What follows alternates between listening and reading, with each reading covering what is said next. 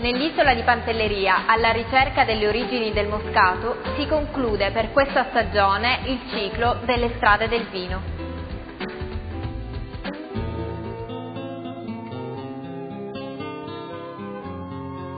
Ospiti di Air Sicilia, concludiamo il ciclo delle rubriche sulle strade del vino con Pantelleria.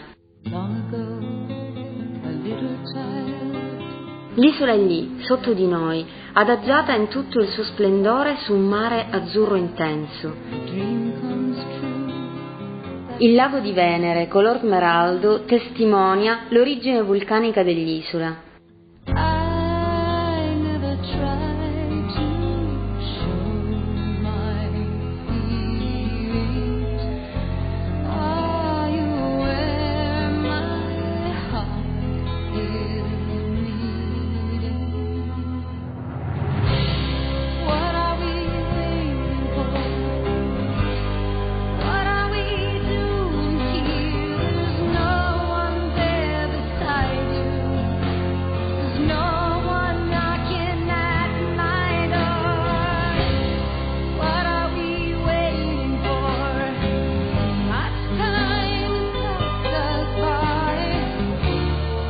Attraversando l'isola ci fermiamo attratti dal panorama che si gode da una vallata ricca di vigneti. Di fronte a noi scorgiamo la cooperativa dei D'Amico.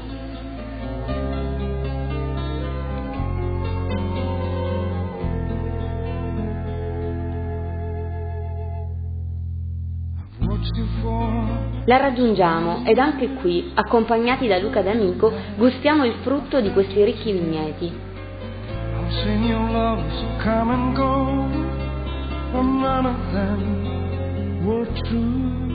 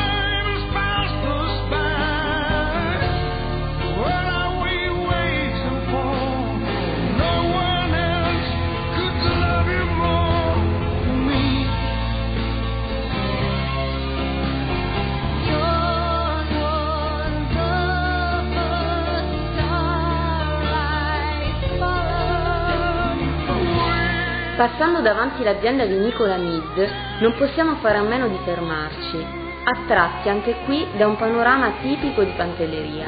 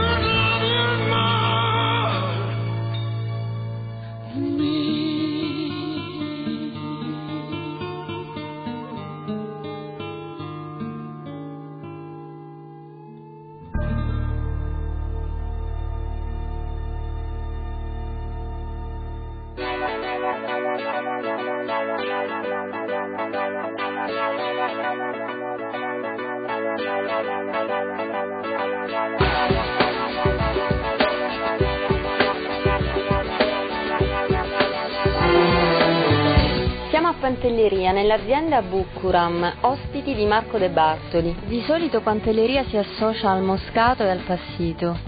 Ma è una cosa importante che si possa associare un vino a un territorio ed è ancora più importante che questo vino mm, sposato nel territorio e conosciuto dal territorio e per il territorio diventa un fatto turistico.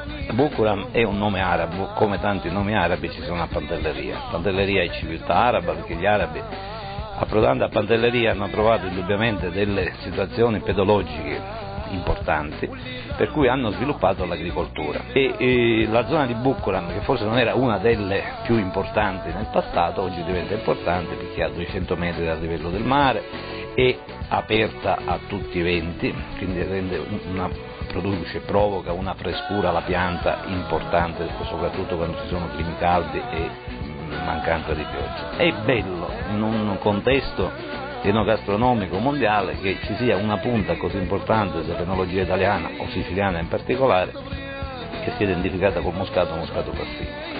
Indubbiamente si tratta di un prodotto che esce dalla stessa uva matura. Il moscato è più facile da farsi e forse più gradevole perché è meno impegnativo, ma il partito invece diventa un discorso più importante. Mi spiego in termini enologici. Il moscato viene fuori dalla vinificazione delle uve mature ai primi di settembre mediamente e naturalmente arricchita, se ci fosse il caso, di un po' di uva più matura o quasi appassita.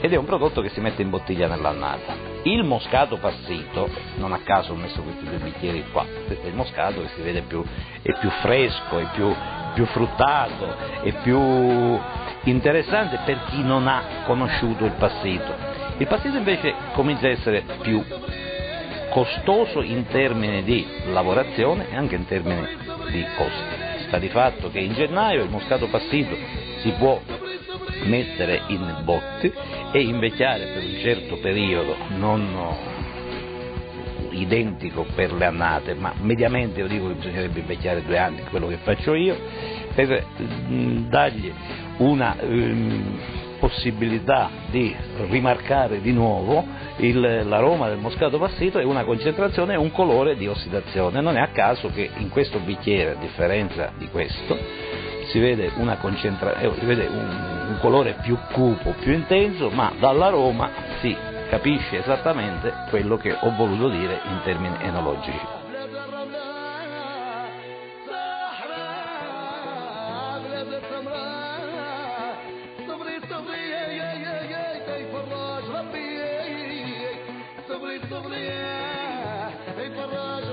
Ma il moscato e il passito, in, con che tipo di cibo si sposano meglio?